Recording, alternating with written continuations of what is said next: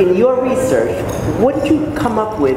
What Reagan felt being in the heart of the Russian Empire, what he called the evil empire, even though he has the opportunity to address the future of the country, the students there.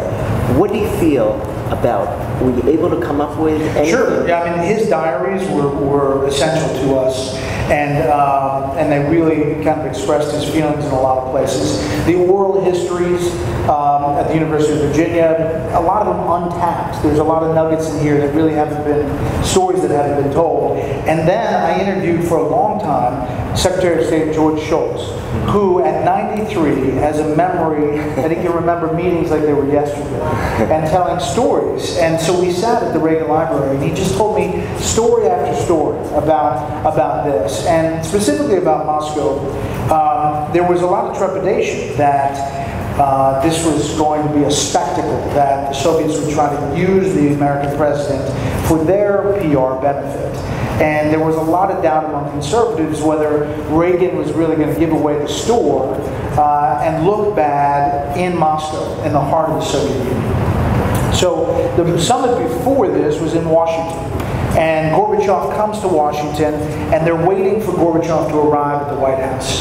And he's taking a long time. 15 minutes go by, 20 minutes go by, and suddenly, and it's the early days of CNN, uh, it's another cable news network. I don't know if you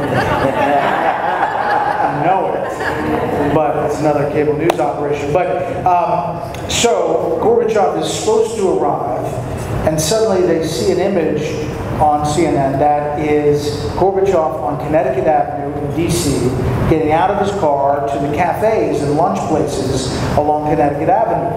And he walks out with his wife Raisa, and he is bombarded with people saying, Gorby, Gorby, and he's shaking hands, kissing babies. I mean, some American politician stuff, work in the room.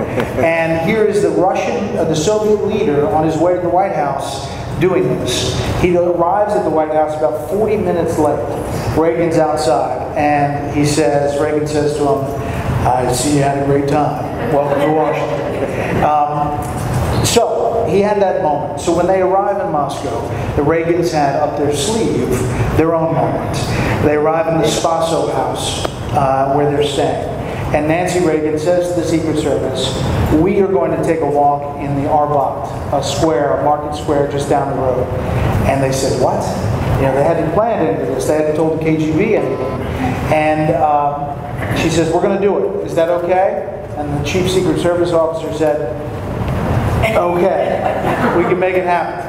So Marlin Fitzwater, the press secretary, gathered the pool and they went out. It was about 200 yards from where they're staying. They got in a, a limo to drive the 200 yards, but then they got out and the marketplace is filled.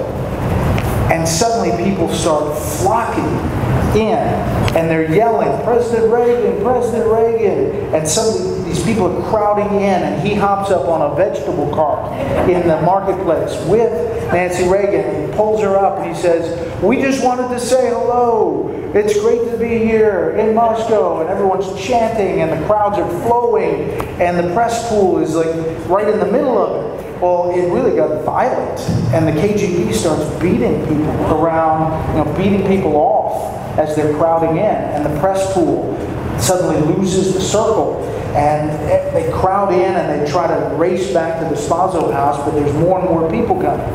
Helen Thomas was there, as well as the CBS reporter, and they get pushed out of the circle.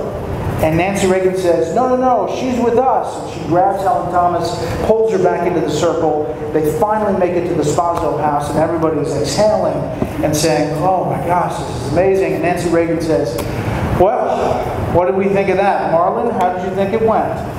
And he doesn't miss a beat. He says, well, we lost our last best chance to lose Helen Thomas.